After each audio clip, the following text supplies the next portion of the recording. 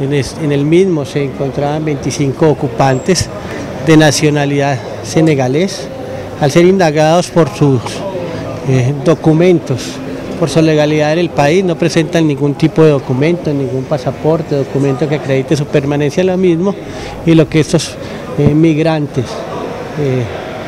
pretendían de manera irregular era desplazarse a la ciudad de Medellín y aparentemente ahí buscar áreas de frontera hacia Panamá. En la experticia que tienen nuestros policías se empieza a verificar el bus como tal, a hacer una una verificación del mismo y se logra hallar en un comportamiento tipo caleta aproximadamente 120 kilos de estupefaciente. Hoy lo que estamos viendo es esa modalidad de transporte que utilizan los delincuentes, eh, en donde instrumentalizan a las eh,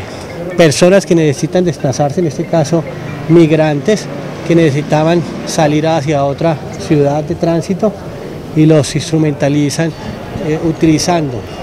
el transporte que ellos tenían para cargar este alijo eh, de droga sin que ellos tuvieran conocimiento.